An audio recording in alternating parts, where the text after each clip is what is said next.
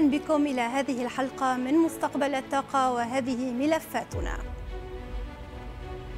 أوبك بلس تبقي سياسة الإنتاج على حالها وحصة السعودية تتجاوز العشرة ملايين برميل يوميا في ديسمبر ومن غلاسكو قمة الفرصة الأخيرة هل تضع العالم على سكة الأمن المناخي؟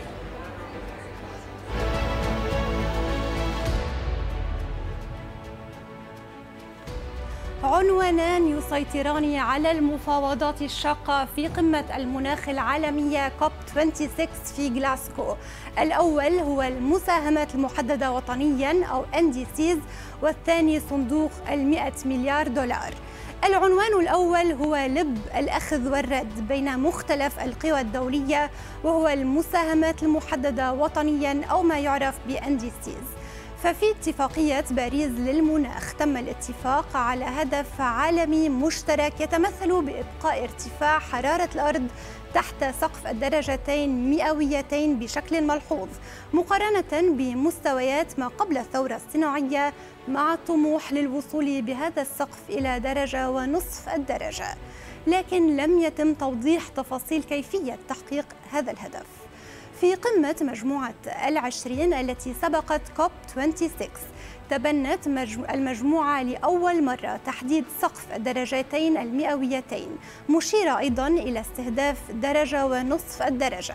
لكن القصة الأهم والأصعب الآن هي كيفية توزيع العبء بين الدول المتقدمة والنامية. ليتحقق ذلك تقدم كل دولة المساهمات الخاصة بها وهي عبارة عن مستهدفات طوعية حتى الآن ما زالت المساهمات الوطنية التي تقدمت بها الدول أقل بكثير مما هو مطلوب لتحقيق الهدف المشترك. لكن التعويل على قمة غلاسكو لتقديم مستهدفات جديدة محدثة من الدول. وهناك يكمن الخلاف والتفاوض. فالدول المتقدمة تضغط على الدول النامية للالتزام بأهداف أكثر طموحا للحد من الانبعاثات بينما الدول النامية تشير إلى أن المشكلة مشكلة التغير المناخي تسببت بها الدول المتقدمة على مدى القرنين الماضيين. الصين التي تقاوم الضغوط للحد من انبعاثاتها قدمت في السابع والعشرين من أكتوبر مساهماتها المحدثة والتي تضمنت رفع حصة الطاقة المتجددة والنظيفة من مزيج الطاقة إلى 25% بدلا من 20% في المستهدفات السابقة بحلول 2030 ورفع طاقة الرياح والطاقة الشمسية إلى 1200 جيجاوات هذا إضافة إلى تحقيق الحياد الكربوني قبل 2060 وهو التاريخ المحدد سابقا لكن من دون تحديد تاريخ جديد بدقة. أما الهند التي تضم خمس سكان العالم تقريبا فقدمت مساهماتها الثلاثاء وأهم فيها الوصول إلى الحياد الصفري في 2070 العنوان الثاني للتفاوض هو صندوق المئة مليار دولار سنويا الذي تم التعهد بتأسيسه من الدول المتقدمة لتمويل جهود الدول النامية في عملية تحول الطاقة اعتبارا من 2020 لكن هذا الهدف قد تأجل إلى 2023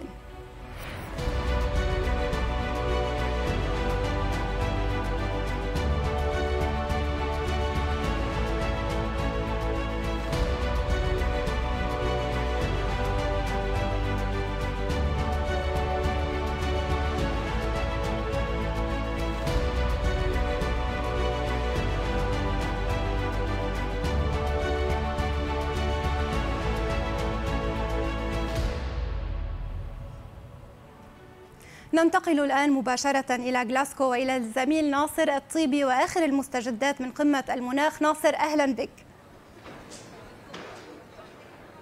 شكرا لك يا مايا. أهلا بكم مشاهدينا. اذا تطلعات عالمية لما سيحدث وسيعلن هنا في غلاسكو طبعا تطرقنا لعدد من هذه الأمور لكن أبرز ما شهدناه من إعلانات خلال الأيام الثلاثة الأخيرة جاء على صعيد خفض الانبعاثات من الميثان. أكثر من 100 دولة تعهدت بخفض انبعاثاتها من هذا الغاز بنحو 30% بحلول عام 2030 مقارنة بمستويات عام 2020 الإعلان الثاني المهم جاء على الفحم. حقيقة الفحم كان مستهدفا بشكل كبير من قمة ومؤتمر المناخ هنا في غلاسكو على صعيد الفحم 23 دولة جديدة انضمت بالالتزام للخفض التدريجي لاستهلاكها للفحم. الفحم سيء جدا وأسوأ أنواع الوقود الأحفوري من حيث انبعاثاته وهو يمثل حاليا اليوم 35%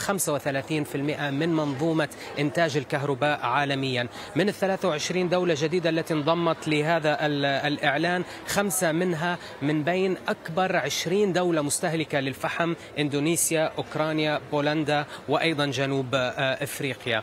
أيضا على صعيد آخر سمعنا عن تحالف من 25 دولة سيقومون بوقف تمويل مشاريع الطاقة الأحفورية خارج دولهم. هذه المشاريع فقط التي لا تكون مزودة بتقنيات لمعالجة الانبعاثات أو احتجازها. من بين هذه الدول هي الولايات المتحدة كندا وإيطاليا ويبدأ العمل بهذا التعهد مع نهاية عام 2022 إذا هذه كانت باختصار أبرز الإعلانات والمبادرات التي شهدناها هنا في مؤتمر المناخ في غلاسكو على هذا الصعيد مشاهدينا كنت قد التقيت مع البروفيسور جيم سكي وهو الرئيس المشارك لمجموعة العمل الثالثة المنضوية تحت الهيئة الحكومية الدولية المعنية بتغير المناخ ال IPCC سألته بداية عن الرسائل والخلاصات التي وضعتها الهيئة هيئة ال IPCC أمام المجتمعين على طاولة المفاوضات هنا في مؤتمر الأمم المتحدة للمناخ. فلنستمع. هناك ثلاث رسائل أساسية. الأولى هي تصريح قوي بأن الإنسان هو مسبب للتغير المناخي أمر لا لبس فيه. وهذا أقوى بيان يتم إصداره من الهيئة الحكومية المعنية بالتغير المناخي على الإطلاق أما الرسالة الثانية فما يمكننا رؤيته من تأثير التغير المناخي وخصوصا البصمة الكربونية التي تظهر خلال أحداث مناخية فردية وما كانت لتحدث لولا تدخل الإنسان في المناخ. أعتقد أن الرسالة الثالثة هي ما إذا كنا نريد الحد من التغير المناخي وفقا لاتفاقية باريس فيجب اتخاذ إجراءات فورية فيما يتعلق بخفض الانبعاثات. وإذا لم نبدأ بتنفيذ هذه الأهداف التي وضعت فلن يتم تحقيق اتفاقية باريس للمناخ. في موضوع متصل عندما يتم الحديث عن عدالة الانتقال في إطار مكافحة التغير المناخي والتحول لمنظومة طاقة أنظف ماذا نعني هنا بمفهوم العدالة؟ ماذا تعني لك؟ ليس هناك تعريف متوافق عليه حتى الآن لعدالة الانتقال أو الانتقال العادل للطاقة.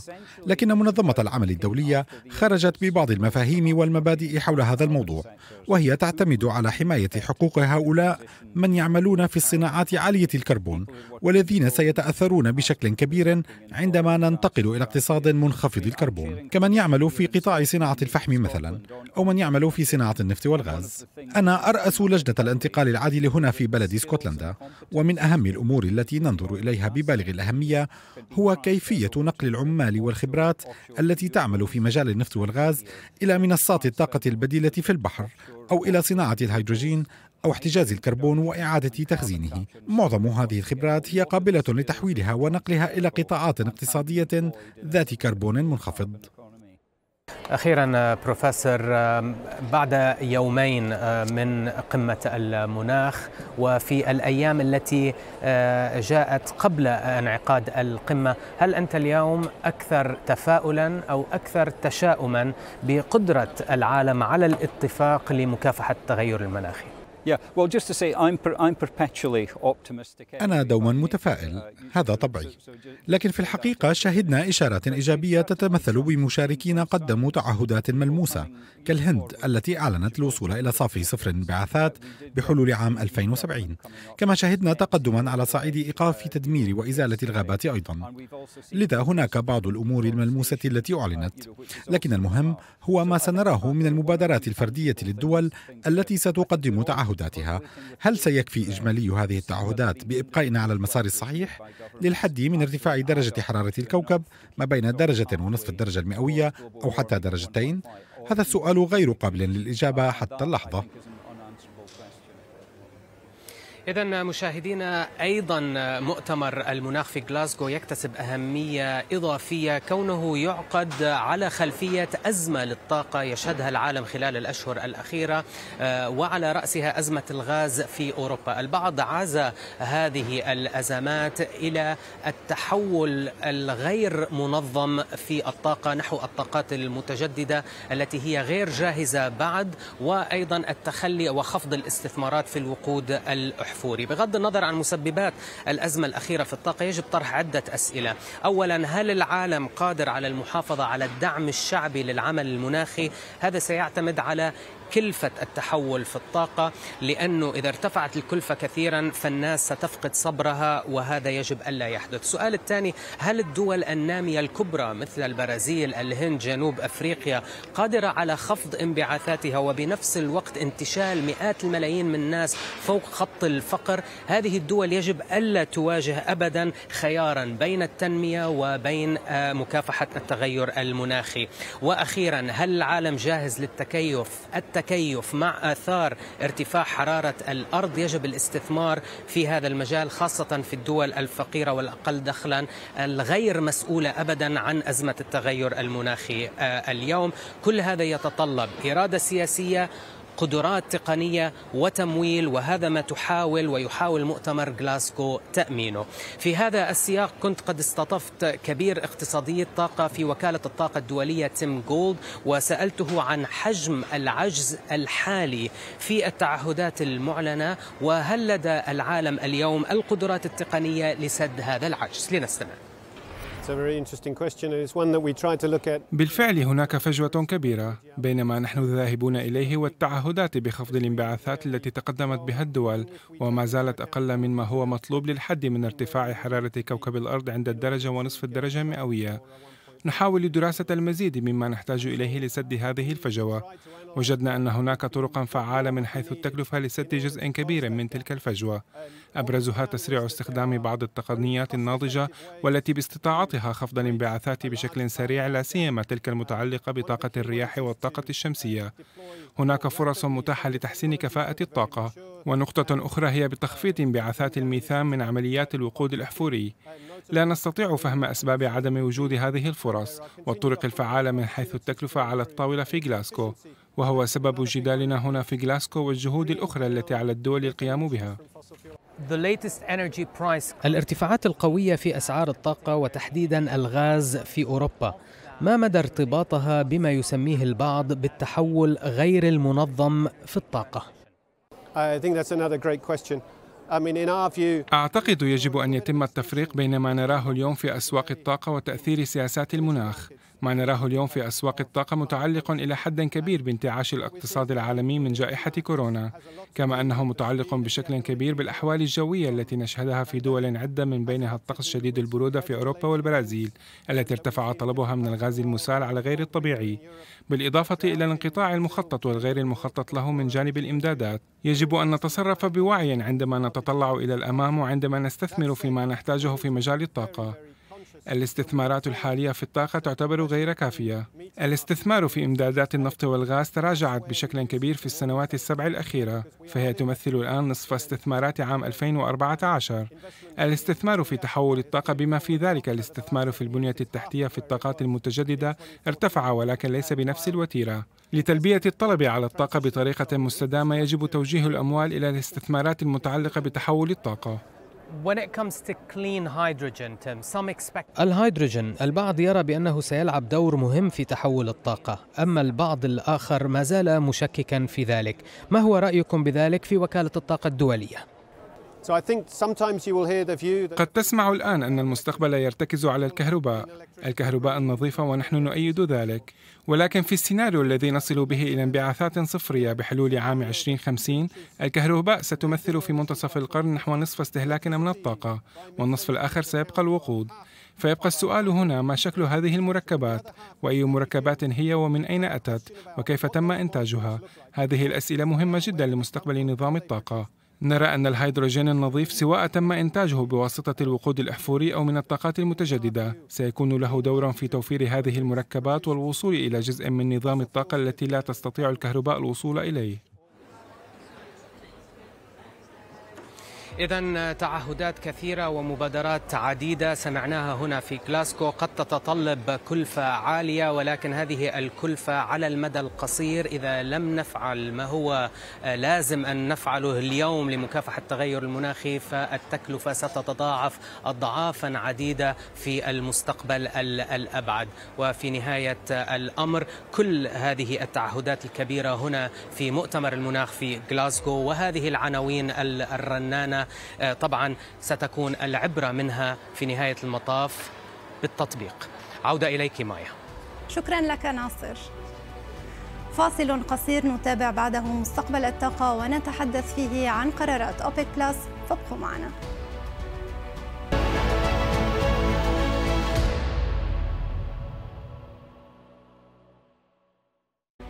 تحالف أوبك plus يعطي رسالة قوية أخرى إلى السوق. من خلال التمسك بسياسته الإنتاجية القائمة والتي تقضي بزيادة الإنتاج بمقدار 400 ألف برميل يومياً كل شهر وصولا إلى إنهاء تخفيضات الإنتاج السارية في الربع الأخير من العام المقبل. وبالتالي سيرتفع إنتاج دول المجموعة ككل من 39 مليون و700 ألف برميل يوميا إلى 40 مليون و100 ألف برميل يوميا تقريبا.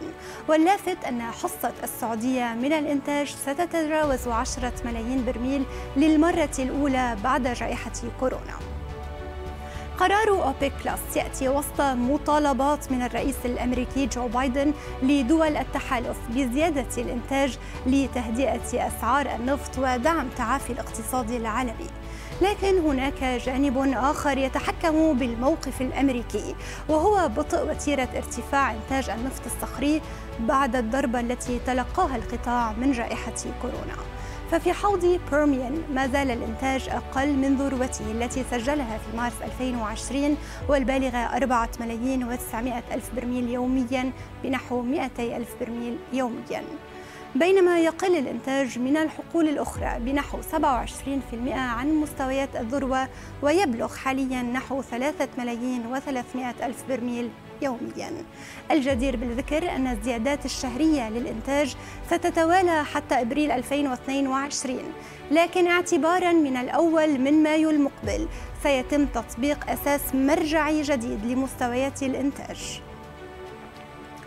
وزير الطاقة السعودي الأمير عبد العزيز بن سلمان قال إن أوبك بلس ليست كارتيلا بل هي منظم لسوق النفط التي تحتاج بالفعل إلى تنظيم.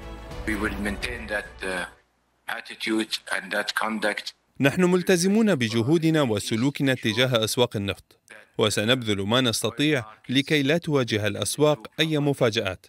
نحن منظمة نفط مسؤولة اتجاه الأسواق ولسنا مثل ما وصفنا البعض بكارتيل احتكاري. ما رأيناه في الأشهر الماضية يؤكد أن أسواق الطاقة بحاجة أن تكون منظمة. وإلا ستعيش حالة كما كانت خلال الأربع الأشهر الماضية.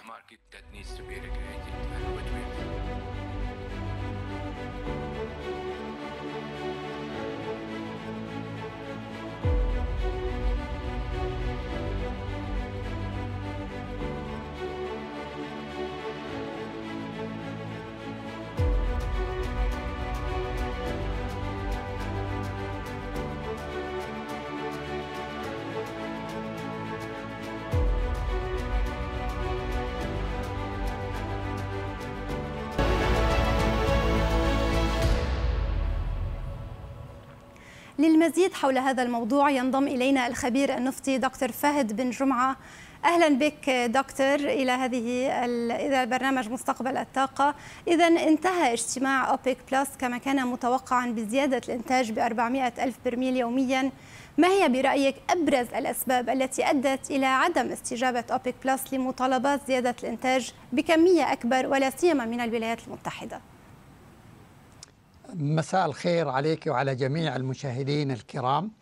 آه، السبب واضح ليس هناك عجز في المعروض وهناك زيادة بالعكس إذا نظرنا إلى المخزون الأمريكي الآن في سبعة أسابيع وهو يرتفع. الأسبوع الماضي ارتفع بما يقارب ثلاثة مليون فاصلة ثلاثة. يعني أن هناك زيادة في معروض النفط في الولايات المتحدة.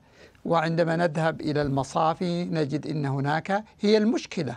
إذا ليس السبب هو العرض مع أن الطلب مرتفع وسيستمر في الارتفاع والأوبك تعمل على التوازن بين العرض والطلب حتى لا يكون هناك خلل ويحدث ما حدث في آه، عام 2020 عندما الرئيس ترامب كان ينادي بزيادة بخفض الإنتاج من الأوبك. والآن نجد أن الرئيس بايدن يطالب الأوبك بزيادة آه، بزيادة الإنتاج بينما المخزون الأمريكي في ارتفاع. والصادرات الأمريكية تجاوزت 3 ملايين برميل يوميا. إذا آه، ما قامت به آه، الأوبك بلس اليوم. قرار سليم وهذا يهدف إلى توازن الأسواق العالمية واستمرار الإمدادات ويكون هناك تحفيز نوعا ما للاستثمار في النفط وزيادة الإنتاج في الحاضر وفي المستقبل هل برأيك هذا القرار يزيد من احتمالية لجوء دول كبرى مثل الولايات المتحدة إلى السحب من الاحتياطي الاستراتيجي؟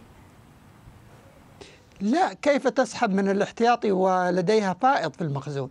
إذا كان المخزون في على مدى سبعة أسابيع يرتفع فكيف تسحب من المخزون؟ يعني آه هذا هو ليس هناك يعني أزمة في النفط. الأزمة توجد في قطاع الغاز والفحم بسبب آه الآثار آه، الجائحة وما حصل من آه، برودة وما كل هذه ليس لها علاقة في النفط وإنما هي متعلقة بالغاز والفحم. أما النفط فالمعروض كافي والمخزونات الأمريكية في تصاعد فلا أرى أنه سوف يسحب من المخزون الاستراتيجي. معدل الالتزام الحالي بتخفيضات الإنتاج يفوق المئة في المئة بكثير بسبب عدم قدرة بعض الدول على زيادة إنتاجها هل برأيك سيعطي ذلك المجال لدول أخرى لزيادة إنتاجها بأكثر من حصصها؟ حسب اللجنة الوزارية هي تقرر هل فعلا هناك حاجة لزيادة المعروض من دول الأوبك بلس أم لا يعني حتى لو بعض الدول انخفض إنتاجها وزاد الالتزام لا يعني أن الدول الأخرى تزيد إنتاجها وإنما هناك نوع من التوازن إجمالي الإنتاج مع إجمالي الطلب وليس إنتاج دولة ما. ينظرون إلى الإجمالي إذا كان الإجمالي الإنتاج متوازن والفجوة بين العرض والطلب آه، ضيقة وتؤدي إلى تحقيق التوازن في أسواق النفط فسوف يستمر آه، يستمرون على هذا الوضع ولا داعي لزيادة إنتاج من دولة أخرى لأن دولة أخرى لم تستطع آه، زيادة إنتاجها هل تعتقد أن قرار أوبك بلس يعكس قلقا من ارتفاع إنتاج النفط الصخري بوتيرة أسرع في المرحلة المقبلة؟ آه، الأسبوع الماضي النفط الأمريكي أرتفع ب 300 ألف برميل يوميا وهو سيستمر. آه، ما دامت الأسعار مرتفعة فهذا محفز للإنتاج الأمريكي والصخري لزيادته. لكن المملكة والأوبك plus آه، لم تكن يعني مهتمة من زيادة الإنتاج الصخري لا في الماضي ولن يكون في الحاضر ولا في المستقبل. بالعكس آه، زيادة الإنتاج النفط الصخري مع زيادة إنتاج الأوبك كله يؤدي إلى زيادة الإمداد والإمدادات والمحافظة على استقرار أسواق النفط فليس هناك أي تعارض أبداً إذا دكتور هل برأيك بدأ يعني بدأ تأثير أزمة الغاز يتلاشى على أسعار النفط؟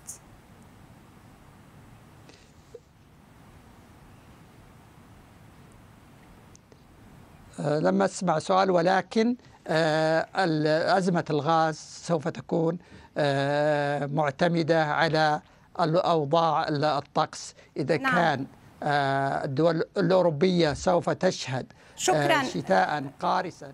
شكرا لك دكتور فهد بن جمعة. انتهى وقت البرنامج. شكرا للمتابعة وإلى اللقاء.